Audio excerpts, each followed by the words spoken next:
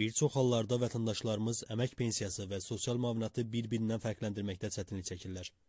Əmək pensiyası vətəndaşlarımızın illər ərzində göstərdiyi əmək fəaliyyətinin nəticəsi olaraq ümumi əmək stajına əsasən təyin olunursa, sosial müavinət əmək pensiyası üçün tələb olunan staj və pensiya kapitalı olmayan vətəndaşlarımıza dövlət tərəfindən edilən sosial yardım mexanizminin bir parçasıdır.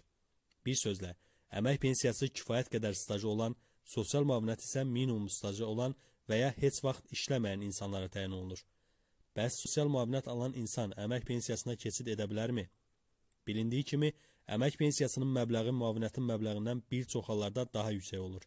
Bu səbəbdən sosial müavinət alan insanlar əmək pensiyasına keçid etməkdə maraq göstərirlər. Bəs qanunvericilik buna nə deyir? Aşağıdakı hallarda sosial müavinətdən əmək pensiyasına keçid etmək mümkündür. 1. Uşaqlıqdan sağlamlıq imkanları məhdudluğu müəyyən olunan şəxs müəyyən dövrdən sonra ikinci və ya üçüncü qrup əlilliyi müəyyən olunmuşdur. Həmin gəncin səhhəti imkan vermiş və əmək fəaliyyəti göstərmişdir. Əgər 30 yaşına çatdıqda ümumi 5 il stajı və fərdi hesabında 9000 manat pensiya kapitalı toplayarsa, 50-yə görə sosial müavinətdən 50-yə görə əmək pensiyasına keçid edə bilər. 2.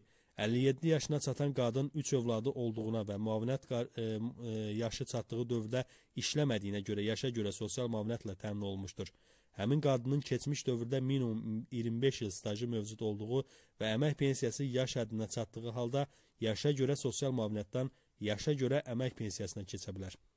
Bu misaldakı qadın vətəndaşımızın əgər 1 yanvar 2006-cı ildən 1 iyul 2018-ci ilədək fərdi hesabında minimum pensiya kapitalı varsa, ona 2006-cı il tarixinə dək 25 il stajın tanınmasına yol verilmir.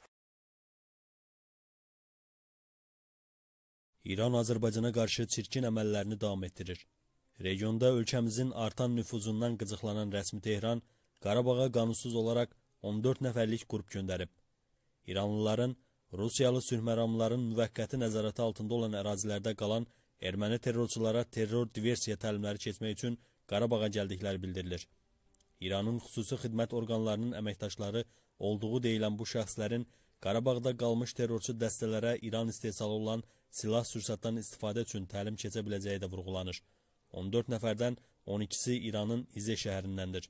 Qeyd edək ki, İzehin daxil olduğu Xuzistan vilayətinin əhalisi arasında ermənilər çoxluq təşkil edir və burada əsas işlək dillər arasında erməni dildə var.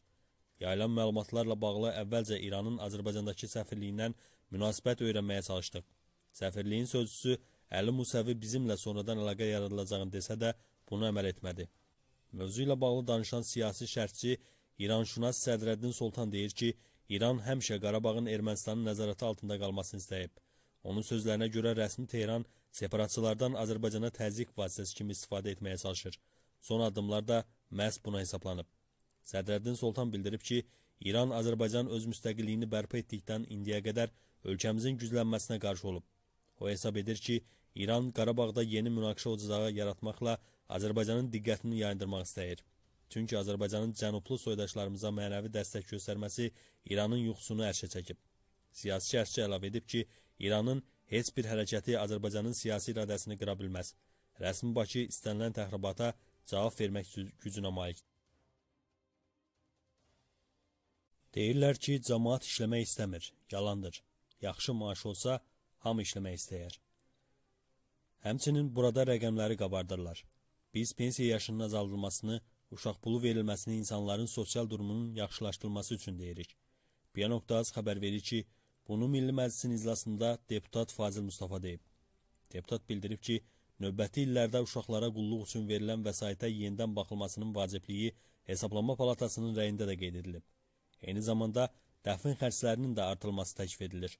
Heç olmasa insana doğulanda və öləndə dəyər verək. Çoxlu insanımız naşı səhiyyə sistemi ucbatından dünyasını dəyişir. Sağlamlıq problemlərindən ölənlərin sayı kifayət qədərdir. Azərbaycanda keyfiyyətli səhiyyə yoxdur. Pulu olmayan Türkiyəyə xaricə müalicəyə gedə bilmir, vəfat edir. Məşğulluqla bağlı məsələyə də ciddi diqqət yetirməliyik. Məşğulluq xidmətlərində qeyri-müəyyən, yalandan iş təklifləri edirlər. Bu mexanizm canlandırılmalıdır dövlət əli ilə iş yeri açılması ideyası artıq absurddur. Özəl sektor canlandırılmalıdır. Deyirlər ki, cəmaat işləmək istəmir, yalandır. Normal iş yeri olsa, hamı gedib işləyər. Yaxşı maaş olsa, hamı işləmək istəyər.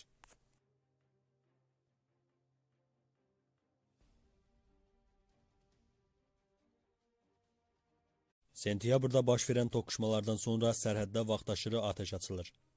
Axar nöqtəz xəbər verir ki, bu sözləri Ermənistanın Müdafiə naziri Suren Papikyan jurnalistlərin sualına cavab olaraq deyib. O bildirib ki, müharibə təhlükəsi hər zaman var. Papikyan Hindistandan silah alınması məsələsini şərh etməyib. O bildirib ki, bu məxfi məlumatdır. Qeyd edək ki, Ermənistan son vaxtlar Hindistan və İrandan külli miqdarda silah tədarik edir. Eyni zamanda sərhəddə vaxtaşırı Azərbaycan ordusunun mövqelərini atəşə tutur.